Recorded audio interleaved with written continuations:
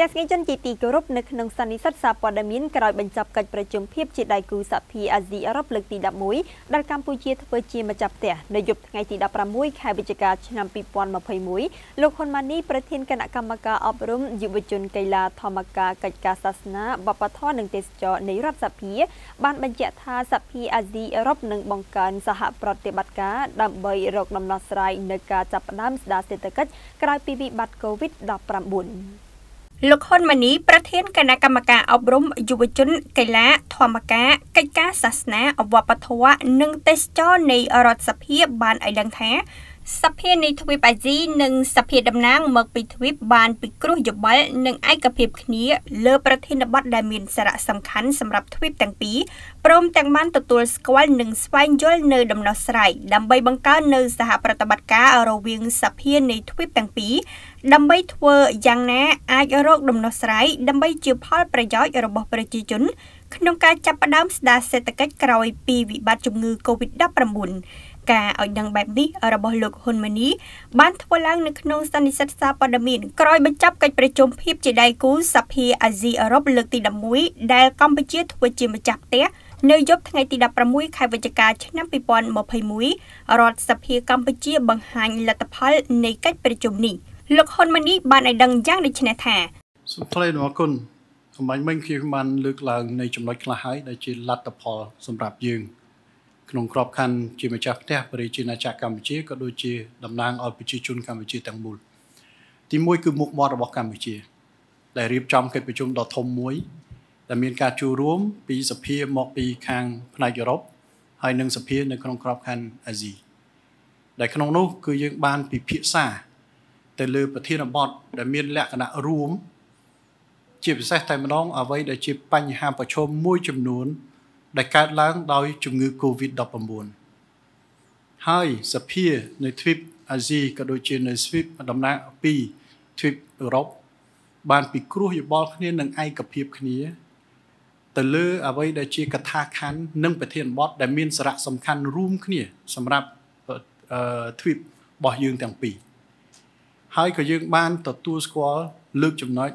ហើយនឹងស្វែងយល់នៃដំណោះស្រាយដើម្បីយើងបង្កើននៃសហប្រតិបត្តិការរវាងអង្គនីតិបញ្ញត្តិនៃទ្វីបទាំងពីរដើម្បីធ្វើយ៉ាងណា អាចរកដំណោះស្រាយដើម្បីជាផលប្រយោជន៍របស់ប្រជាជន ដែលជាម្ចាស់ឆ្នោត ដែលយើងជាមានភាពជាតំណាង ជាពិសេសតែម្ដងក្នុងការសហប្រតិបត្តិការរកដំណោះស្រាយក្នុងការចាប់ផ្ដើមស្ដារសេដ្ឋកិច្ច ក្រោយពីវិបត្តិជំងឺ Covid-19 កថាខណ្ឌទាំង30 38គឺឆ្លុះបញ្ចាំងនៃការបដិញ្ញាចិត្តដែលចេញមកពីការឯកភាពគ្រប់គ្រងគ្នាទៅវិញទៅមកដើម្បីធ្វើយ៉ាងណា គឺយើងបន្តសហការគ្នា តាមរយៈស្មារតីនៃការស្គាល់គ្នាទៅវិញទៅមកបំពេញបន្ថែមទៅគ្នាទៅមកហើយនឹងសហការធ្វើយ៉ាងណាយើងអាចបង្កើននៃតំណែងតំណងនេះហើយកថាខណ្ឌទាំងអស់នេះអឺ សក្តីប្រកាសនេះគឺនឹងបញ្ជូនទៅឲ្យកិច្ចប្រជុំអាស៊ីអឺរ៉ុបលើកទី13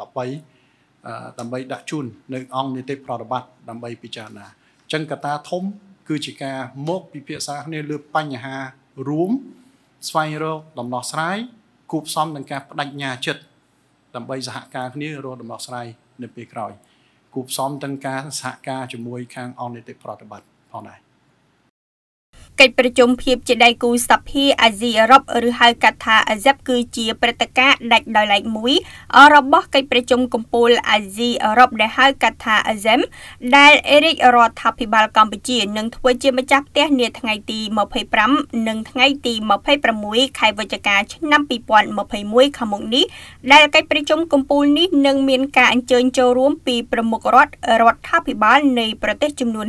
51នៃទ្វីបអឺរ៉ុបនិងអាស៊ីប្រធានគណៈកម្មការអឺរ៉ុបនិងអគ្គលេខាធិការសមាគមប្រជាជាតិអាស៊ីអាគ្នេយ៍ផងដែរនៅក្នុងពិធីបើកនៃកិច្ចប្រជុំភាពជាដៃគូសភាអាស៊ីអឺរ៉ុបលើកទី11មានការចូលរួមថ្លែងសន្ទរកថារបស់ថ្នាក់ដឹកនាំសំខាន់សំខាន់របស់ព្រះរាជាណាចក្រកម្ពុជា ដែលមានសម្ដេចវិបុលសេនាភក្តីសៃឈុំប្រធានព្រឹទ្ធសភា សម្ដេចអគ្គមហាពញាចក្រីហេងសំរិនប្រធានរដ្ឋសភា ជាប្រធានអាស៊ាប់11និងសម្ដេចតេជោហ៊ុនសែននាយករដ្ឋមន្ត្រី និងជាប្រធានកិច្ចប្រជុំកំពូលអាស៊ីអឺរ៉ុបលើកទី